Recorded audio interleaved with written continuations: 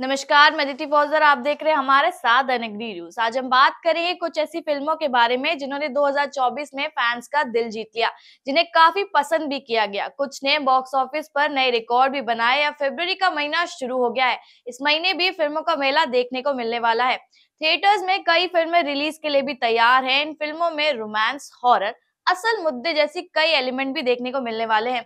इस लिस्ट में लाल सलाम, तेरी बातों में उलझा जिया आर्टिकल 370 जैसी कई फ़िल्में भी शामिल हैं। यही नहीं, इस महीने मनोरंजन का पूरा डोज भी मिलने वाला है। फ़िल्मों के दिलचस्प लाइनअप के बारे में चलिए आपको बताते हैं।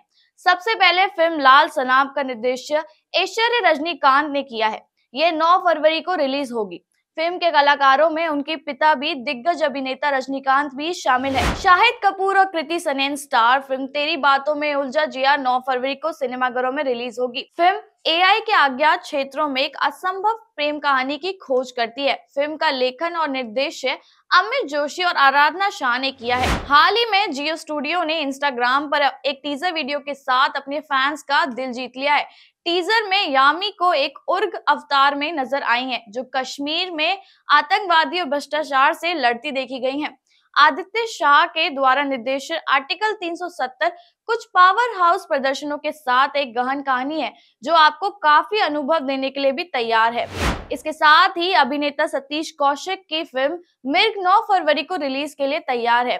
निर्माताओं ने हाल ही में एक फ़िल्म का एक टीजर रिलीज़ किया। इस फ़िल्म में एक चतुर लेकिन कैद के आदेश का पालन करने वाले युवा अनिल के कारनामों की है। आगामी पारविक मनोरंजक फ़िल्म कुछ खट्टा हो जाए का निर्देशन भी अशोक जी ने ही किया है। ये फ़िल्म गायक गुरु रंधावर के अभिनय का शुरुआत है। इसमें साथ ही अनुपम खेर भी मुख्य भूमिका में देखे जाएँगे। ये फ़िल्म 16 फरवरी को सिनेमाघरों में रिलीज़ होने के लिए पूरी तरीके से तैयार है।